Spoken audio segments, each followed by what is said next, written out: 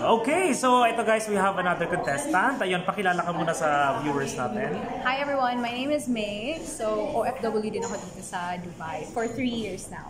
So, anong work mo ngayon? Um, social media strategist ako. Oh my God, I need you. nice to meet you here. okay, sige, uh, go back to your story na lang. So, ang una nating question is, bakit ka naging isang OFW? Um, dumating ako dito, 21 ako. So, very So, young, young. very early. Uh, tapos, it it was literally a case of I don't think there was anything better in the Philippines for me because Ah. I've been there for such such a long time. I mean, whole, my whole since life, since birth. birth. So, na-feel ko na kung ano man yung, I mean, there are a lot of opportunities, pero na-feel ko na meron pang more. May mas competitive pa. When you're put in a very competitive situation, then you learn how to cope. Okay. So if you're put in a situation na mid-level yung difficulty, you'll learn to cope mid-level. So, Wait so ibig sabihin, if, if you're 21, so wala ka pang work sa Pinas? Di- Dito Ah, ka na meron na. After, Ah. after kong, so after kong graduate, nag-work din ako dun sa university. Mm. Okay, ah, okay. So, Same So, university. inabsorb nila ako. Mm. So, bakit uh, nag-abroad ka pa? Kasi, yun nga, kasi I felt like mas my competitive environment pa. So, dito everything is new. True. Wala kang, um, as Ate Jana said, wala kang identity, wala kang anything, no connections, no nothing. So, you have to start everything from scratch. And na-feel ko na when you have to do that, you have no choice but to push yourself. True. So that when you come back home to the Oo. Philippines, it's I'm not saying that you're gonna be better than anybody, everybody else, but you'll be stronger.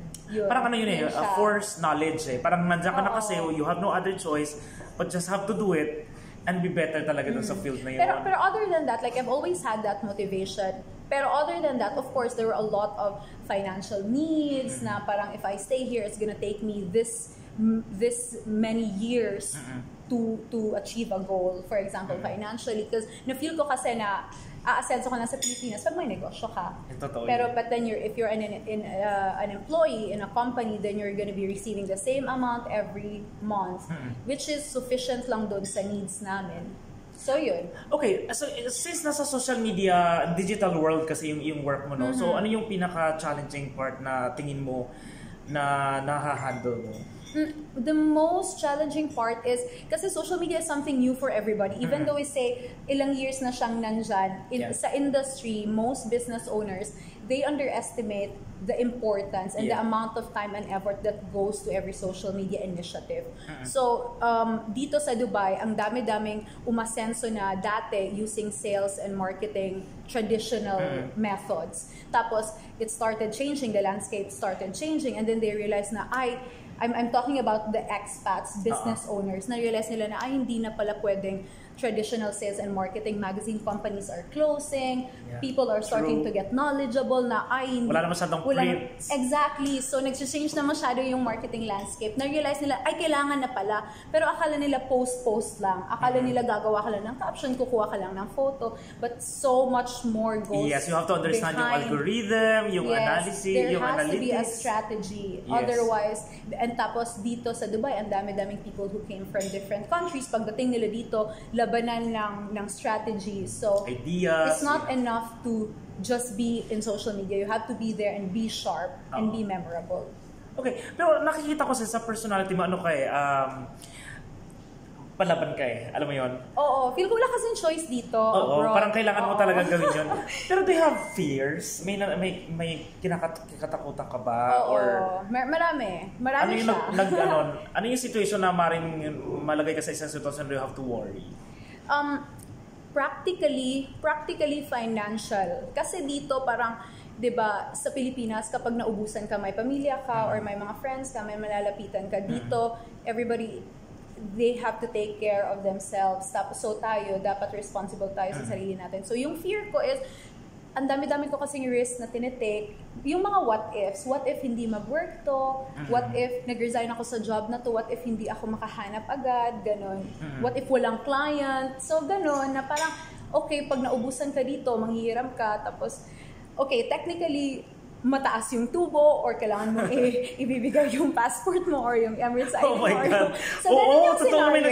ganyan nga, or Emirates. ID mo, So, ganyan.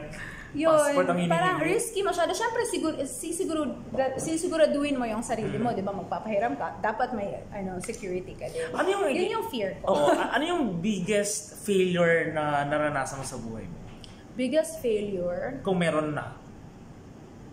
Mm, i- hindi naman siguro siya biggest failure. Siguro ano lang, yung mga things na I wish na I have worked on better. Ah. Pero wala wala akong kinoconsider na biggest fa- failure. I feel Ah. like everything um, you're at one point tapos for example, nag-fail ka dito, it's meant to be because you are supposed to learn something from Anyway. that. Tapos mag-move ka na naman. Totoo yun. Opportunity Yeah. naman yung every, eh, every problem eh. True. Okay, that's good. Grabe yung yung personality mo is umaapaw. Salamat. I like that. Very bright.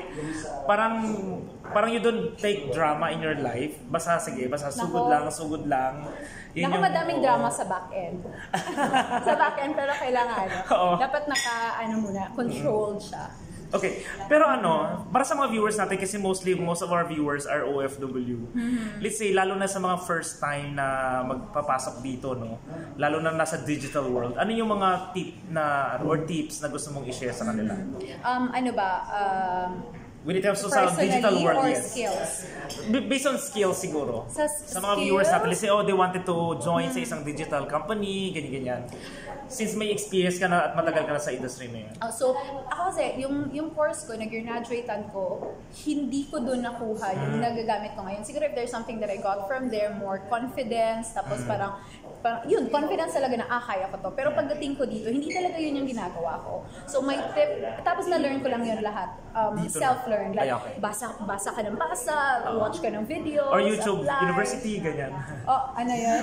Natutunan mo sa YouTube University. Oo, ganun. Oo, talaga. So, talagang ano, apply lang na apply. Pero yung main tip ko is um, to work harder than anybody else. Yes. To work harder than anybody else you know. If gusto mo maging social media manager, surround yourself with social media managers so, so you absorb the learning mm. from them. Always surround yourself with people that you wanna become. You wanna Ayun, replicate. Because if you sur- surround yourself with people who might not believe in what you do, then madadown ka lang kasi magkakaroon sila ng doubt pag ma- maririnig mo yun, magkakadoubt ka din sa sarili mo. So yung tip ko is to go out of your way and work harder than anybody else because in the end, ikaw ikaw lang din yung makakapagpagaling. Ay, hindi ko alam paano sabihin, pero ikaw din yung reason kung gagaling ka or magsistay ka dyan na position. Ano to, the uh, power of connections. Kasi minsan yung connection mo will teach you something and will bring you up there doon sa kung ano yung True. dream na meron ka. Tapos always be, so I will give three tips para Okay, sorry. ganon. Okay, go ahead. So first is yun, work harder than anybody else. Second tip is stay in your best condition mentally. Mm-hmm. Because everything starts mentally.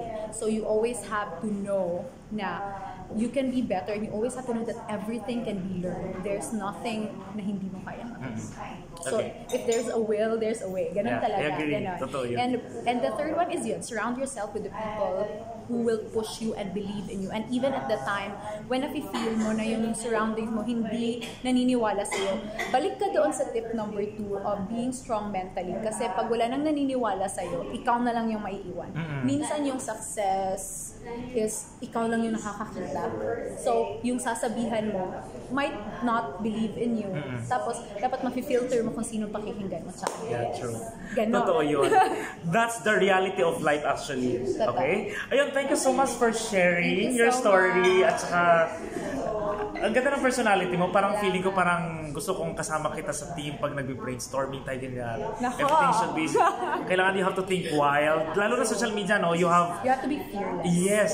At saka kailangan yung idea mo something new, paano siya gagawin into reality. True. Kaya yun. eh. Dapat hindi ka nag-blend. Congrats sa mga ginagawa mo sa buhay. Salamat, salamat. Thank, Thank you. It's a you. pleasure to be here. Okay, nice shoulder, pang model siya. Actually, ginanon ko talaga. oh, thank Okay, you. thank you so much. Okay, thank you, thank you. Ayun. Last